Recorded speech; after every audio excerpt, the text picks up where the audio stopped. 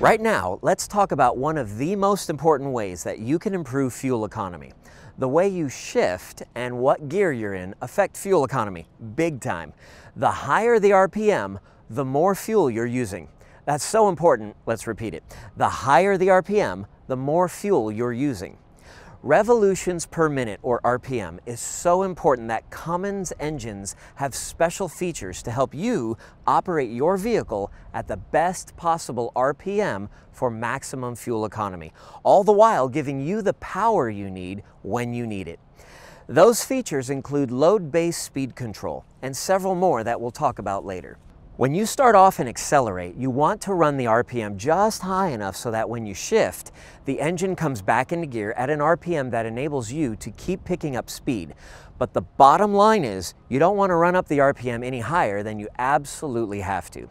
It used to be true that engines operated better at a higher RPM. You'd run up the RPM to get the pulling power you needed. But now, diesel engines, especially Cummins engines, operate with excellent pulling power at low RPM.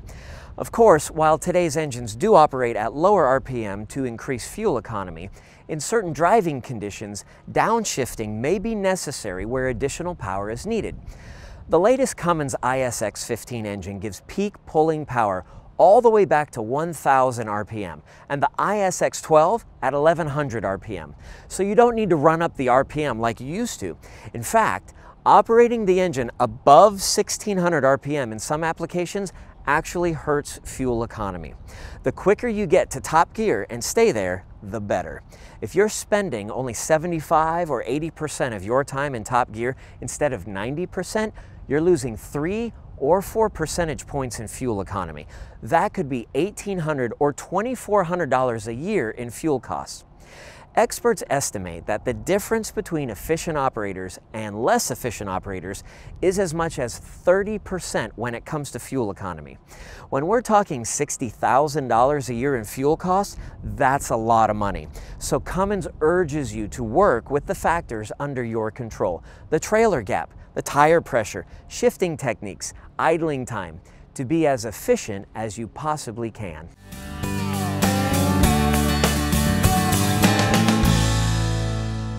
Time for a knowledge check. At what RPM does an ISX15 have more torque? At 1000 to 1600 RPM or at 1900 to 2300 RPM? Operating the engine above 1600 RPM in heavy-duty applications actually hurts fuel economy. So you get your power economically at lower RPM and save fuel. With all of the technological advancements made to Cummins engines and the ability to produce torque at lower RPM, the sweet spot, or most efficient engine operating spot, has moved down. Previously, when peak torque was at 1200 RPM, the sweet spot was between 1400 and 1550 RPM. With peak torque now available at 1000 RPM for an ISX 15 below 475 horsepower, the sweet spot is between 1150 and 1300 RPM.